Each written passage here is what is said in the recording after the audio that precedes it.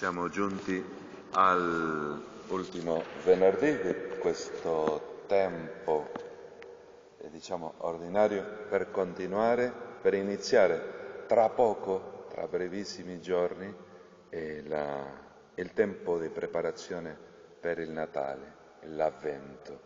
E la parola continua in questa eh, letteratura apocalittica che non è, io già l'ho detto diverse volte, non è la tragedia, no? come molte volte alcuni per mettere paura, per fare una, un annuncio di paura, così quando ci tocca la paura, è la paura più grande che tiene l'uomo, non il cristiano, l'uomo è alla morte, quando trova qualcuno nella debolezza, a fin di vita, con una malattia o con poca speranza di vita eterna, le acchiappano immediatamente, no? Non è l'annuncio. Quando noi leggiamo il Vangelo, anzi abbiamo quattro Vangeli, non mette mai paura, sempre una parola d'amore, di bellezza, perché? Perché è il fidanzato che viene a trovare alla sua chiesa e viene a trovare la fidanzata. Ma se ogni volta che la viene a trovare dice ma che spettinata che sei, stai diventando vecchia, guarda, lavati. E no? Brutto, venga il fidanzato e dice ah, guarda, e questo chi crede di essere? Invece questo è un fidanzato che ci aiuta a guardare la storia e la vita da un'altra dimensione che l'innominevole non vuole che la guardiamo. Cioè, la parola dell'Apocalisse non dà nessuna paura, che, anzi vi raccomando tornare a leggerla perché è bellissimo questo, questo brano del ventesimo capitolo e salta un pezzettino, due versetti del ventuno, perché parla del giudizio, parla della condanna di chi si è, è rivelato, che si è, è sollevato, che mh, si è resistito, no? Anzi, potremmo dire che nell'inganno che molte volte noi viviamo non ci accorgiamo qual è il vero peccato originale. Qual è il peccato originale? Chi lo ha fatto?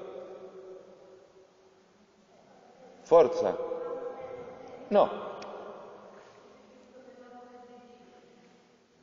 Il primo peccato, il primo peccatore è stato del demonio. È stato lui, se no non ci sarebbe dopo la tentazione. Nell'umanità il primo peccatore sì è stato lui. Ma c'è una radice precedente. Il demonio con i suoi seguaci che si sono creduti tutti belli, tutti forti, tutti più importanti di Dio, non accettavano essere meno di Dio, si mettono contro. Questo è il primo peccato. E già inizia tutto un po' storto. Ecco perché dice Santo Tommaso d'Aquino che pur non essendo, eh, non avendo il peccato originale Adamo ed Eva, per amore Dio Padre avrebbe lo stesso mandato il suo figlio tra di noi. Bellissimo questo. Anzi, nel preconio pasquale diciamo, oh beata colpa, no? Beata, grazie a questa colpa che ci ha merito un così grande Redentore. Oh beata colpa, guardate che la bellezza, no?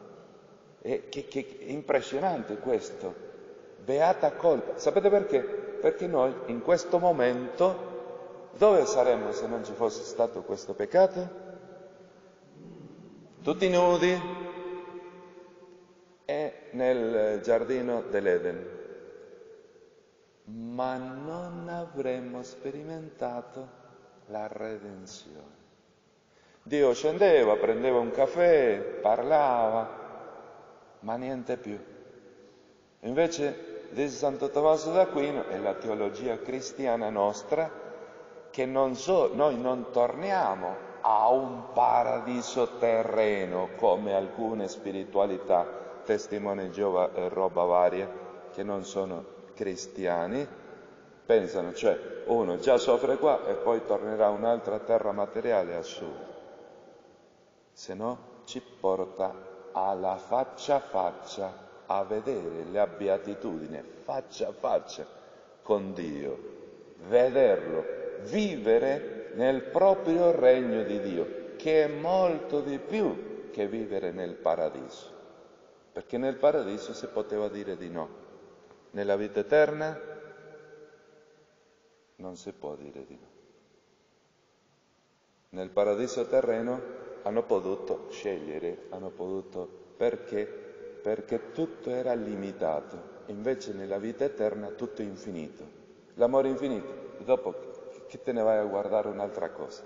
Invece noi come qua, tutto è finito, uno prende, che ne so, prende un telefono e già la società dice no, quello che hai preso già è vecchio, non ti serve.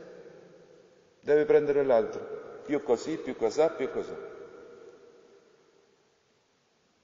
Ecco perché la parola oggi mette un centro, mette il puntino su qualcosa che è importante per noi, a vedere tutto con lo sguardo di Dio. E come lo vede lo sguardo di Dio? Come lo vede un papà, una mamma, particolarmente voi mamme. Papà un po' più freddo, no? Voi mamme. Riuscite a vedere nei vostri figli quello che nemmeno i propri figli vedono in se stessi. Quando loro stanno andando, voi già siete andati, tornati, state prendendo il caffè, state pronti. Perché? Perché l'amore vi permette di guardare qualcosa dove la persona, l'altro, sta andando. E figlio si arrabbia. E perché mi costringe? Ma io so dove stai andando. Ma mamma, io so dove stai andando. Però ognuno deve fare la propria esperienza. Seconda caratteristica che è quella che è, è del pensiero d'oggi. La mamma, voi mamme e nonne, moltiplicata, e avete la capacità per guardare sempre il bene nelle sbaglio dei vostri figli. Anche se ti fanno del male, perdonate continuate a servire, continuate a stare vicini, a pregare. È qualcosa fantastico. E così fa la Chiesa con tutti noi. Ma perché fa la Chiesa con tutti noi così? Perché il Padre nostro è così. A noi tutti i giorni ci guarda e quanto desidererebbe, lo disse San Paolo, la natura è aspettante, cioè sta in attesa de, de, ansiosa perché venga il Signore. Ma purtroppo il nostro pensiero è sì che venga il Signore, ma non oggi, che venga magari tra 40 anni. Diceva uno, beh, adesso che mi sono preso la pensione, eh no, eh, adesso non accetto malattie, niente. Stolto, non hai capito niente. Stolto, non hai capito niente di che la bellezza di incontrarsi con il Signore. È che me voglio godere i nipoti perché ci sono o perché già sono in attesa? È perché mi voglio godere questo. Ma non hai capito ancora assolutamente niente. La bellezza della vita eterna è molto più bella che l'effimero o limitato affetto che i tuoi figli, nipoti, mariti, mogli ti possano dare. L'amore di Dio è molto più importante che quel conto, che quell'eredità o quella grossa pensione. È molto più importante. Perciò la parola oggi dice, beh, praticamente ci dice attenzione a non cancellarti del libro della vita.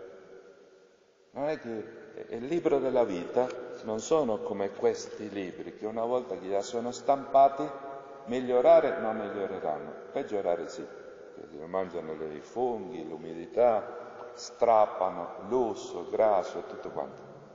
Ma il libro della vita, immaginate questo, un foglio bianco con le lettere che sono in movimento, con disegni, come se fosse un, un libro digitale con, con eh, un video, audio. Questo è il libro, è il libro della vita, dove è un foglio dove è scritta la nostra vita, quello che abbiamo fatto, quello che non abbiamo fatto, quello che abbiamo pensato fare, quello che non potevamo fare e abbiamo deciso non fare. Tutto. È una, è un, mi faccio capire, è un libro dinamico. Immaginatelo, i bambini direbbero un libro magico dove stanno le lettere saltellando così, ma non cambia niente non cambia niente. Questo libro, quello che sta scritto, scriptum est, no?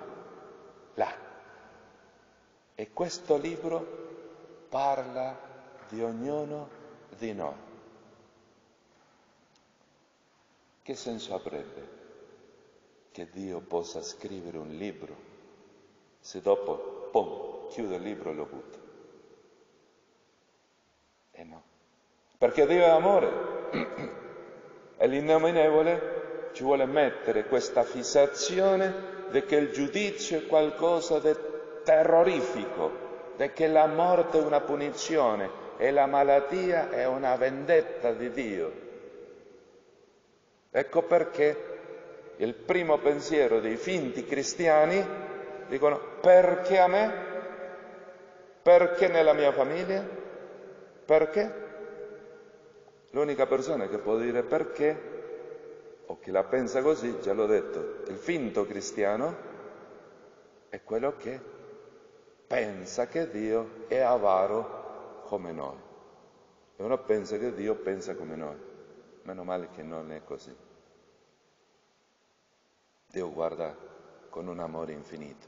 Ecco perché oggi questo libro dell'Apocalisse a me mi è piaciuto tantissimo, 20 e inizio del ventunesimo capitolo mette quella vittoria dell'innominevole con tutti i suoi seguaci. I suoi seguaci che già sono morti, quelli che sono vivi, purtroppo quelli che sono ancora in qualche famiglia, quelli che verranno, perché chi non è da parte del Signore è contro. Chi no fa del bene, evita di fare il bene. Facciamo un figlio. Chi non vuole fare un figlio, evita fare un figlio. È semplice. Entra nella morte per propria volontà. Certo, dentro del marco del matrimonio. Perché?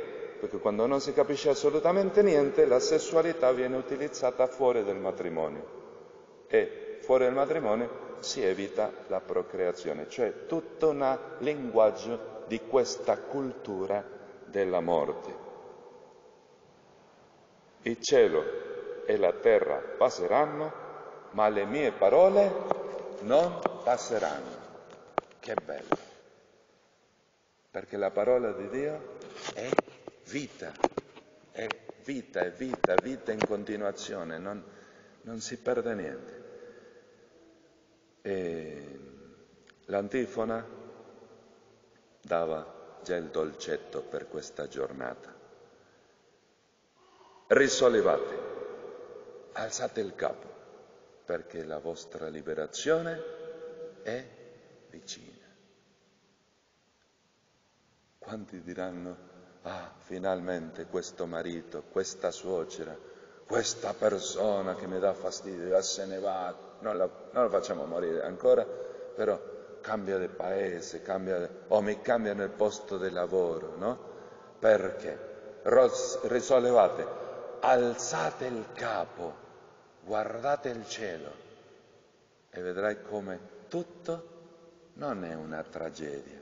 Pur avendo malattia, pur mancando i soldi, non è una tragedia. È tutta un'opera, la storia più bella che noi potevamo vivere. Così sia.